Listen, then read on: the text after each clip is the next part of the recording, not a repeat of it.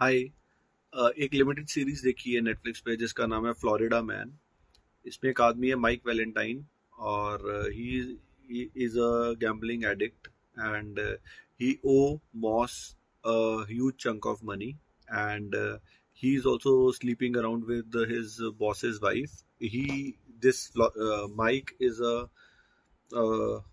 ex cop and he hails from Florida so Moss's wife, uh, Delly, asks him uh, that uh, let us leave Moss behind and let's elope to Florida.